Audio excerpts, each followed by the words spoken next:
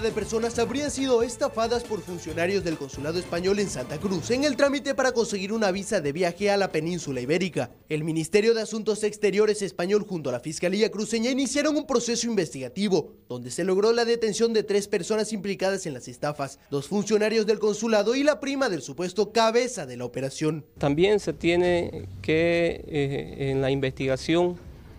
se han podido secuestrar algunos eh, teléfonos celulares, se ha podido pedir algunas imágenes también tanto del consulado como de eh, la agencia que estaría involucrada en este, en este hecho. Eh, se tiene que también han sido grandes cantidades de dinero con las cuales han sido estafadas lamentablemente estos ciudadanos. Sí, se tiene dos funcionarios, dos personas que ejercían, que estaban en función activa en,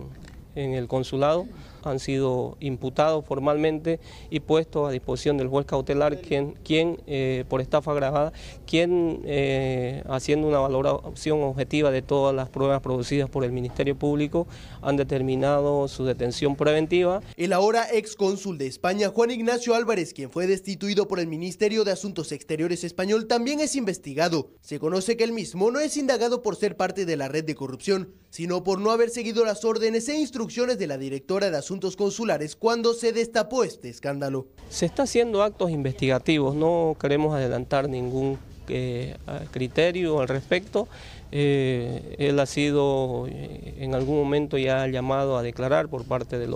la Comisión de Fiscales y se está investigando y hay una cuarta persona que también había sido cautelada, en todo caso que es familiar de uno de los imputados del cual el, juez ha determinado darle medidas eh, sustitutivas a la detención preventiva, situación que ha sido apelada, recurrida por,